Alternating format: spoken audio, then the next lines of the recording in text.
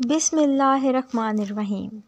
अल्लाह ताला ने हज़रत सलमान अलैहिस्सलाम को जन्नात, जानवरों, परिंदों, हवा और पानी पर हुकूमत करने की ताकत बख्शी थी। एक दफ़ा का किस्सा है कि हज़रत सलमान अलैहिस्सलाम एक दरिया के किनारे खड़े थे कि आपने देखा कि एक चूंटी अपने मुँह में गंदम का एक दाना लेकर समुंदर के पानी के बिल्कुल पास जाकर रुक गई है। वहाँ एक मेंढक आया। इसने चूंटी को अपने मुँह में लिया और पानी में गायब हो गया। हज़रत सलमान अलैहिस्सलाम ये देखकर बहुत ही हैरान होकर सोच में पड़ गए कि ये क्या माजरा हो रहा है। आप वहाँ ही बैठे हुए थे कि वही मेंढक दोबारा चूंटी को समुंदर के किनारे छोड़कर पानी में दोबारा चला गया। हज़रत सलमान अलैहिस्सलाम की नज़र इस चूंटी पर पड़ी तो इसने देखा कि चूंटी के मुँह में दाना नहीं है। जब चूंटी से माजरा पूछा गया तो चूंटी ने बताया कि समुंदर में एक पत्थर है। इस पत्थर में एक कीड़ा रहता है। मैं इस कीड़े को खाना देकर आई हूँ। अल्लाह ताला ने मेरी और इस मेंढक की ड्यूटी इस कीड़े को खाना पहुँचाने में मामूर की हुई है। इस तरह मेंढक आता है, मैं बाहर से इसके लिए खाना लेकर मेंढक के मुँह में दाखिल हो जाती हूँ। वहाँ जाकर मेंढक मुँह खोलता है और इसके मुँह से बाहर आकर इस कीड़े को खाना देती हूँ। मेंढक फिर मुझे खुशकी पर छोड़ देता है।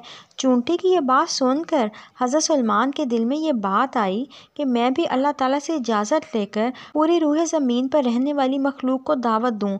एक दिन हज़रत सलमान इस्लाम ने अल्लाह ताला की बारगाह में अर्ज़ की, या बारी ताला, मुझे भी सारी कायनात को दावत की इजाज़त दें।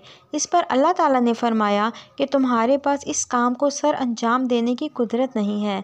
हज़रत सलमान इस्लाम ने अर्ज़ की, ए मेरे रब, मुझे एक हफ़्ते की इजाज़त दें ताकि मैं सारी दुनिया में रहने वाली मखलूक को खाना खिला सकूँ। इस पर रब कायनात ने फरमाया कि, ए सलमान इस्लाम तुम ऐसा करने की कुदरत नहीं रखते। चंद दिन गुजरने के बाद हज़रत सलमान इस्लाम ने अल्लाह से अर्ज़ की, या बारी ताला, मुझे बस एक दिन की इजाज़त दें ताकि मैं पूरी मखलूक को खाना मुहैया कर सकूँ। अल्लाह ताला की तरफ़ से फिर जवाब आया कि, सलमान इस्लाम तुम कुदरत नहीं रखते। सलमान इस्लाम के बार बार ज़िद करने पर अल्लाह ताला की तरफ़ से हज़रत सलमान इस्लाम को एक दिन की इजाज़त मिल गई। हज़रत सलमान इस्लाम ने पूरी दुनिया में रहने वाले इंसानों, जानवरों परिंदों, चरिंदों, सबको खाने की दावत दी। हज़रत सलमान इस्लाम की खाने की सब तैयारियाँ हो गई थीं। अल्लाह ताला की तरफ़ से हुक्म आया कि, ए सलमान इस्लाम तुम सबसे पहले किस मखलूक को खाना खाने की इजाज़त दोगे? हज़रत सलमान इस्लाम ने अर्ज़ किया, ए बारी ताला, मैं सबसे पहले जानवरों को खाना खाने की दावत दूँगा। इस पर अल्लाह ताला ने समुंदरी मछली को हुक्म दिया कि तुम खाना शुरू करो।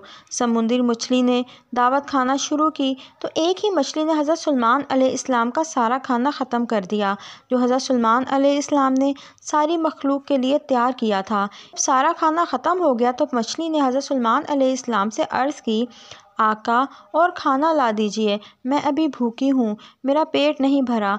मछली हज़रत सलमान इस्लाम को कहने लगी ए सलमान अलैहिस्सलाम जितना खाना आपने सारी मखलूक के लिए तैयार किया है, मेरा रब इससे तीन गुना ज़्यादा खाना मुझे हर रोज़ मुहैया करता है। ए सलमान अलैहिस्सलाम मैं हर रोज़ पेट भर कर खाना खाती हूँ, लेकिन तेरी वजह से आज मैं भूखी रह गई। मछली की बात सुनकर अल्लाह ताला के पैगंबर हज़रत सलमान अलैहिस्सलाम अल्लाह ताला की बारगाह में सजदे में पड़ गए और रोने लगे और अर्ज़ करने लगे, या बारी ताला दुनिया में हर किसी को तू ही बेहतर जानने और रिस्क देने वाला है।